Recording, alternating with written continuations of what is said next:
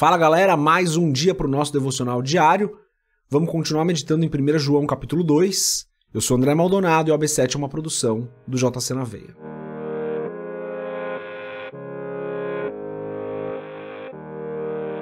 Primeira João capítulo 2, a partir do versículo 24, diz o seguinte: Quanto a vocês, cuidem para que aquilo que ouviram desde o princípio permaneça em vocês. Se o que ouviram desde o princípio permanecer em vocês, vocês também permanecerão no Filho e no Pai. E essa é a promessa que ele nos fez, a vida eterna. Escrevo-lhes essas coisas a respeito daqueles que os querem enganar. Até aqui, só até o versículo 26, vamos fechar os nossos olhos, curvar nossa cabeça e fazer uma oração. Pai querido e amado, Tu és o Todo-Poderoso, Tu és aquele que vê todas as coisas, que sabe de todas as coisas. O Senhor vê passado, presente futuro. O Senhor sabe de tudo. Tu és o nosso Deus soberano, não há nenhum outro que seja como o Senhor, não há nenhum outro que se iguale ou que chegue perto do Senhor, e obviamente nenhum outro que está acima do Senhor. O Senhor é. O Senhor é e sempre será. O Senhor é santo e maravilhoso. Pai, eu peço, perdoa os nossos pecados, porque nós falhamos, nós erramos, nós cometemos aí as nossas transgressões, às vezes nós caímos em tentação, às vezes nós deixamos que os nossos desejos nos dominem. Então eu peço perdoa-nos, Senhor.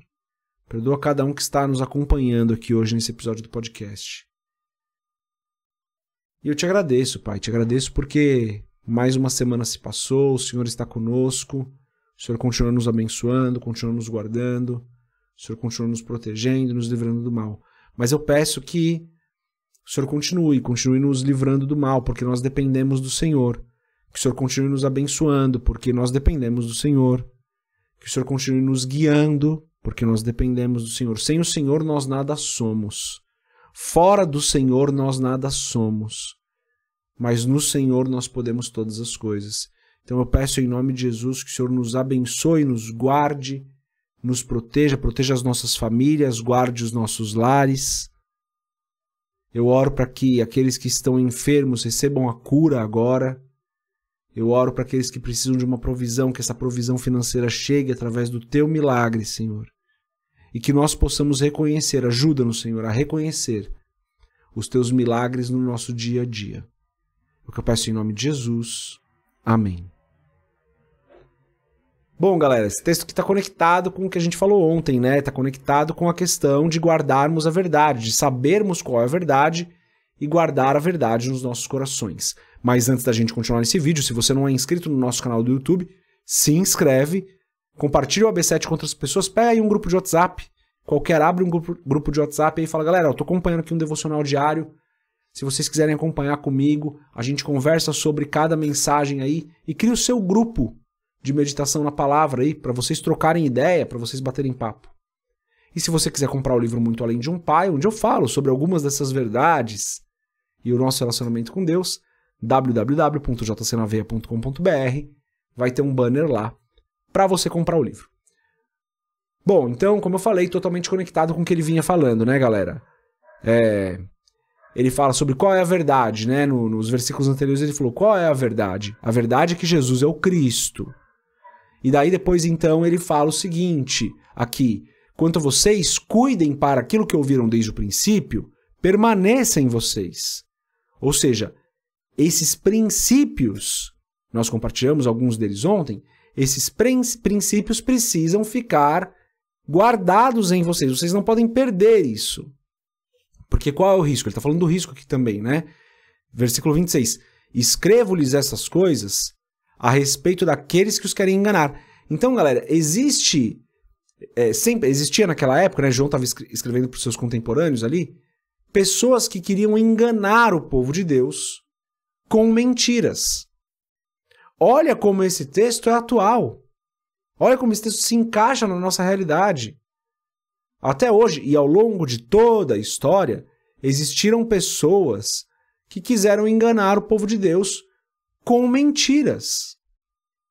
Então, se a gente não tem um bom fundamento bíblico, se a gente não tem uma boa base na palavra, se nós não temos intimidade com o Espírito Santo, se nós não temos relacionamento com Deus, essas mentiras podem acabar nos pegando. Dá um exemplo bem simples, que é um exemplo clássico. O, ex o exemplo das indulgências na igreja romana, igreja da qual nós viemos, tá?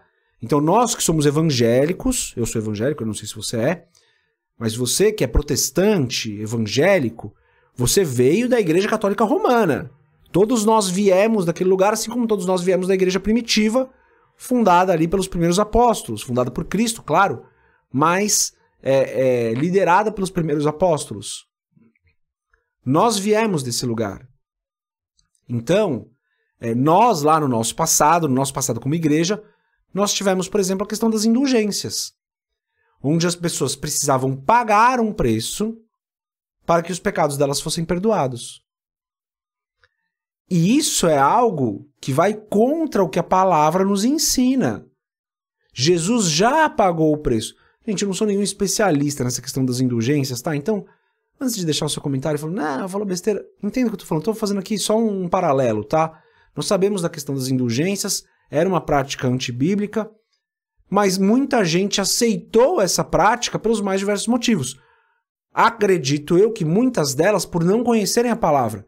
Tanto que quando vem a reforma protestante, é justamente entendendo a palavra que alguns dos pré-reformadores e dos reformadores falam: ó, oh, isso aqui tá errado.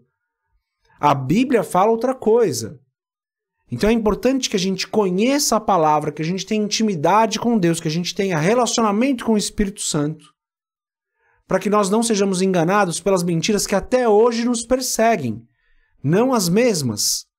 Não as mesmas do passado, às vezes até as mesmas.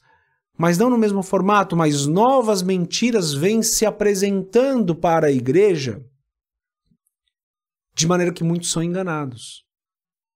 Uma mentira que eu vejo acontecendo é a que eu falei até ontem, né? Você pode fazer qualquer coisa. Se te agrada, faça. Se te faz feliz, faça. Porque é bom. Não, não é. A Bíblia é muito clara no que nós podemos e no que nós não podemos fazer, naquilo que é pecado e naquilo que não é pecado. E se nós não tomarmos cuidado, se nós não tivermos relacionamento com a palavra, se nós não tivermos é, profundidade bíblica, se nós não tivermos, tivermos relacionamento com o Pai, intimidade com o Espírito, então nós podemos ser enganados por essas verdades, por essas mentiras. Por isso, galera, que de novo eu falo, o nosso devocional é muito importante. O seu tempo com a palavra é muito importante. O seu tempo de oração no seu íntimo é muito importante.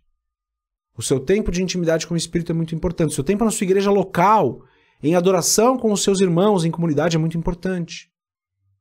Importante que você esteja firmado na palavra para que você não seja enganado, para que eu não seja enganado. Nosso coração é enganoso e ele gosta de acreditar naquilo que dá prazer para ele, para nossa carne, para o nosso coração. Nosso coração é enganoso, galera. Então a gente tem que tomar muito cuidado.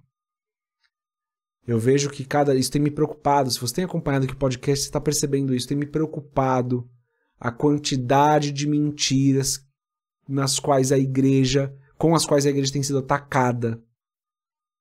Precisamos estar firmes na palavra. Eu não estou falando mal de nenhuma igreja aqui, não, tá, gente? Pelo amor de Deus, não vai me entender errado. Tô falando que a gente tem que tomar cuidado, galera. Porque o mundo tá tentando trazer mentiras para dentro da igreja falando que a gente pode fazer o que a gente quiser, que a gente pode ser o que a gente quiser. Não pode não, gente. Pode não. Tem coisa que é pecado e o pecado a gente não pode aceitar. A gente precisa aceitar o pecador, a gente precisa amar o pecador, até porque nós somos pecadores. Nós somos falhos, por isso que a gente pede perdão todo dia aqui nas nossas orações. A gente tem que amar o pecador, mas o pecado a gente não pode aceitar. E essa relação ela é muito importante para a gente. Amar o pecador, cuidar do pecador, estar com o pecador, mas não aceitar o pecado. Falar, olha, é pecado, eu te amo, eu vou continuar te amando, nada vai mudar, mas o pecado eu tenho que falar que é pecado. Porque se eu não falar, eu, tô, eu não estou fazendo o que Deus me chamou para fazer.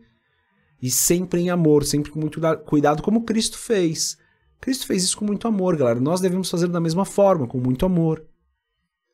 Então, primeiro nós cuidamos para que nós não acreditemos nessas mentiras. E então nós ajudamos outras pessoas a entender quais são as verdades para que o coração delas esteja protegido contra essas mentiras também. Essa é a mensagem de hoje. Deus abençoe a sua vida. A gente se vê amanhã se Deus quiser. Paz.